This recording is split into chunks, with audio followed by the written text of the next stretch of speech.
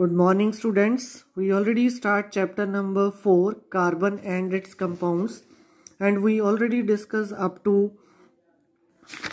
page number 61 allotropes of carbon and also about covalent bond. Today we discuss the next topic open your books on page number 62 versatile nature of carbon. Versatile means different anomalous behavior of carbon ਇੱਕ ਅਲੱਗ ਜਿਹਾ behaviour ਜਿਹੜਾ carbon ਸਾਡੇ ਕੋਲ show ਕਰਦੀ ਹੈ clear so let us start the topic we have seen the formation of covalent bonds by sharing of electron in various elements and compounds ਅਸੀਂ ਦੇਖਿਆ ਕਿ ਅਲੱਗ-ਅਲੱਗ ਜਿਹੜੇ ਜਿਹੜੇ ਕੋਵੈਲੈਂਟ ਬੌਂਡ ਫਾਰਮ ਹੋ ਰਹੇ ਨੇ ਬਾਈ ਸ਼ੇਅਰਿੰਗ ਆਫ ਇਲੈਕਟ੍ਰੋਨ ਚਾਹੇ ਉਹ ਹਾਈਡਰੋਜਨ ਮੋਲੀਕਿਊਲ ਹੈ ਚਾਹੇ ਨਾਈਟ੍ਰੋਜਨ ਮੋਲੀਕਿਊਲ ਹੈ even in case of water molecule in case of ammonia molecule in case of methane molecule so they uh, get stable by sharing of electron between the atoms. We have also seen structure of simple carbon compound that is methane because carbon have 4 electron and share 4 electron with each hydrogen 1 electron with each hydrogen atom to form a 8 electron in their shell. So in the beginning of the chapter we saw how many things we use contain carbon. ਅਸੀਂ starting ਚ ਦੇਖਿਆ ਕਿ ਕਾਫੀ ਸਾਰੀਆਂ ਜਿਹੜੀਆਂ ਅਸੀਂ ਚੀਜ਼ਾਂ use ਕਰਦੇ ਆ ਉਹਨਾਂ 'ਚ ਸਾਡੇ ਕੋਲ ਕੀ ਹੁੰਦੀ ਹੈ carbon in fact we are self are made up of carbon compounds ਜਿਹੜੀ ਹਿਊਮਨ ਦੀ ਬਾਡੀ ਹੈ ਆਪਣੀ ਬਾਡੀ ਹੈ that is also made up of carbon compounds a maximum number of carbon compound present in our body either the vitamin enzymes which are present in our body that all are made up of carbon compounds long chains of carbon so the number of numbers of carbon compounds whose formulae are known to chemist was recently estimated to about 3 million more than 3 million so carbon ਦੇ ਇੰਨੇ ਕ compounds ਨੇ ਜਿੰਨੇ ਕੋਣ ਤੱਕ ਫਾਰਮੂਲਾਸ ਬਣ ਸਕਦੇ ਨੇ 3 ਮਿਲੀਅਨਸ ਤੋਂ ਵੀ ਜ਼ਿਆਦਾ ਨੇ ਸਾਡੇ ਕੋਲ ਜਾਨੀ huge number of carbon compounds are exist So this outnumbers by a large margin the compounds formed by all other elements put together ਅਸ ਕਾਰਬਨ ਦੇ ਇੰਨੇ ਕੰਪਾਊਂਡ ਨੇ ਜੇ ਅਸੀਂ ਬਾਕੀ ਐਲੀਮੈਂਟਸ ਨੂੰ ਐਡ ਕਰ ਲਈਏ ਸਾਰੇ ਐਲੀਮੈਂਟਸ ਦੇ ਕੰਪਾਊਂਡ ਨੂੰ ਤਾਂ ਵੀ ਉਹਨੇ ਕੰਪਾਊਂਡਸ ਫਾਰਮ ਨਹੀਂ ਹੋਣਗੇ ਜਿੰਨੇ ਕਾਰਬਨ ਦੇ ਸਾਡੇ ਕੋ ਐਗਜ਼ਿਸਟ ਕਰਦੇ ਨੇ so why is that this property is seen in carbon no and no other element ਕਿਉਂ ਇਹ ਪ੍ਰਾਪਰਟੀ ਸਾਡੇ ਕੋ ਕਾਰਬਨ ਦੇ ਵਿੱਚ ਹੀ ਸ਼ੋ ਹੁੰਦੀ ਹੈ ਹੋਰ ਕੋਈ ਐਲੀਮੈਂਟ ਇਹ ਪ੍ਰਾਪਰਟੀ ਇੰਨੀ ਐਕਸਟੈਂਟ ਤੱਕ ਸ਼ੋ ਨਹੀਂ ਕਰਦਾ ਸ਼ੋ ਕਰਦੇ ਨੇ but only up to smaller extent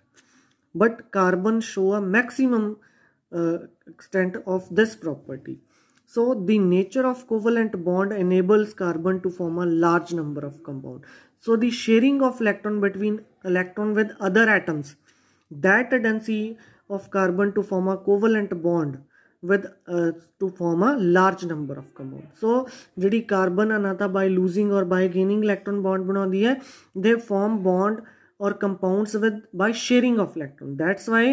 they form a large number of compounds so there are two factors noticed in case of carbon so there are two factors behind it to show a versatile or anomalous or different nature of a carbon so there are two properties first one is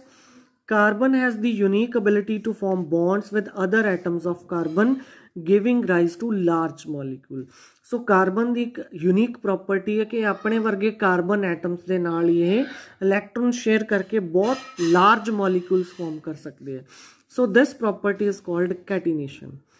ਇਹ ਜਿਹੜੀ property ਹੈ ਦੀ self linking formation of bond with same element self linking power of uh, is is catenation so ਆਪਣੇ ਅਰਗੇ carbons ਦੇ ਨਾਲ ਹੀ bond form ਕਰਨੇ for example this chain ਲਾ ਲਓ। ਇਹ ਕਾਰਬਨ ਕਾਰਬਨ ਦੀਆਂ ਚੇਨਸ ਨੇ ਤੁਹਾਡੇ ਕੋਲ। ਅੱਗੇ ਦੀ ਅੱਗੇ ਕਾਰਬਨਸ ਆ ਜਿਹੜੀਆਂ, ਉਹ ਜੁਆਇਨ ਹੋ ਰਹੀਆਂ ਨੇ। ਜਿਵੇਂ ਸਾਡੇ ਕੋਲ ਡਾਇਮੰਡ ਤੇ ਅਸੀਂ ਗ੍ਰੇਫਾਈਟ 'ਚ ਦੇਖਿਆ ਸੀ। Clear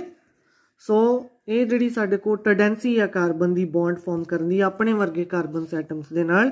that is called catenation the self linking power of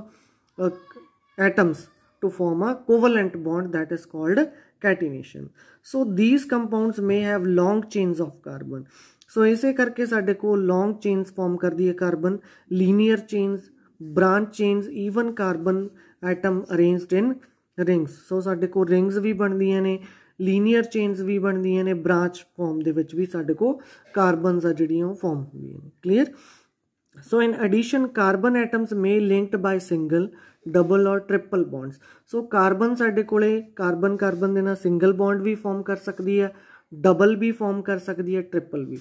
double we form ਕਰ ਸਕਦੀ ਹੈ ਕਾਰਬਨ ਕਾਰਬਨ ਦੇ ਨਾਲ ਟ੍ਰਿਪਲ ਵੀ ਫਾਰਮ ਕਰ ਸਕਦੀ ਹੈ ਇਸ ਤਰ੍ਹਾਂ so carbon carbon have form to multiple bond ਇੱਕ ਦੂਜੇ ਦੇ ਨਾਲ ਡਬਲ ਬੌਂਡ ਵੀ ਟ੍ਰਿਪਲ ਬੌਂਡ ਵੀ ਫਾਰਮ ਕਰ ਸਕਦੀ ਹੈ ਜਦਕਿ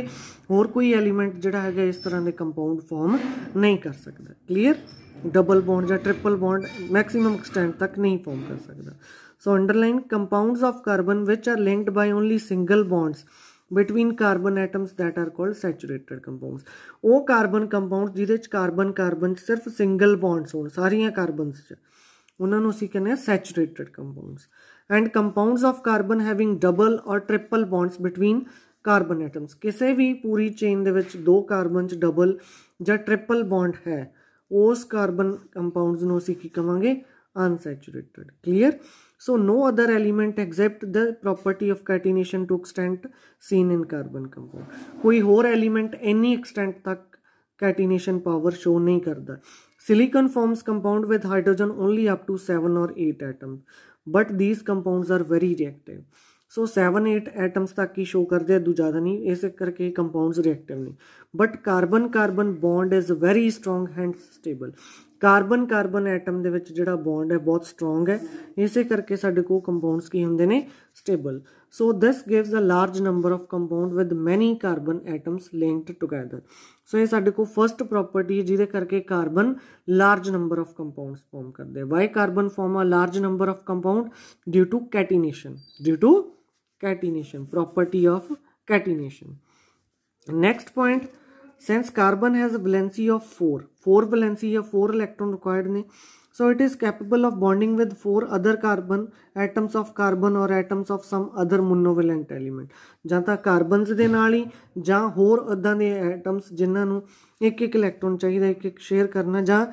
carbon also form with oxygen hydrogen nitrogen sulphur chlorine ਹੋਰ ਕਾਫੀ ਸਾਰੇ ਐਲੀਮੈਂਟਸ ਦੇ ਐਟਮ ਨਾਲ ਕੰਪਾਊਂਡ ਬਣਾਉਂਦੇ ਆ with which have specific ਪ੍ਰੋਪਰਟੀਆਂ and depend upon elements of other than carbon ਤੇ ਉਸ ਕੰਪਾਊਂਡਸ ਦੀਆਂ ਜਿਹੜੀਆਂ ਪ੍ਰੋਪਰਟੀਆਂ ਨੇ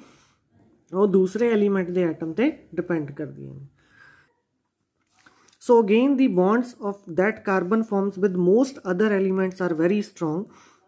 making these compounds exceptionally stable so carbon carbon carbon the bond ਤਾਂ ਸਟਰੋਂਗ ਹੈ ਜਿਹਦੇ ਕਰਕੇ ਕੰਪਾਊਂਡ ਵੀ ਸਟੇਬਲ ਨੇ ਬਟ ਹੋਰ ਐਲੀਮੈਂਟਸ ਦੇ ਐਟਮਸ ਦੇ ਨਾਲ ਵੀ ਇਹ ਬੌਂਡ ਫਾਰਮ ਕਰਦਾ ਜਿਹੜੇ ਕਿ ਸਟਰੋਂਗ ਹੁੰਦੇ ਨੇ so one reason formation of strong bond by carbon carbon the bond ਕਿਉਂ ਸਟਰੋਂਗ ਹੈ by carbon compounds have strong bond due to its small size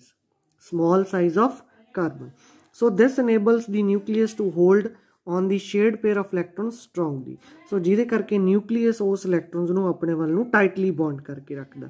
So the bond formed by element having larger atoms are much weaker ਜਿਹੜੇ bond form ਕਰਦੇ ਨੇ larger elements ਨੇ larger atoms ਨੇ, ਉਹਨਾਂ ਦੇ bond weak ਹੁੰਦੇ ਨੇ as compare to carbon carbon carbon ਦੇ ਜਿਹੜੇ ਬੌਂਡ ਨੇ ਜਾਂ ਹੋਰ ਐਲੀਮੈਂਟ ਦੇ ਐਟਮ ਨਾਲ ਬੌਂਡ ਹੈ, ਉਹ ਸਟਰੋਂਗ ਹੁੰਦੇ ਨੇ due to its small size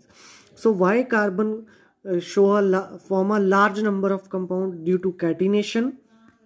and second property is tetravalency second property is tetravalency okay four the valency tetravalency and catenation clear? So this is your topic 4.2 of carbon and its compound chapter. If you guys have any doubt up to this topic you can call me or through message you clarify your doubt. Thank you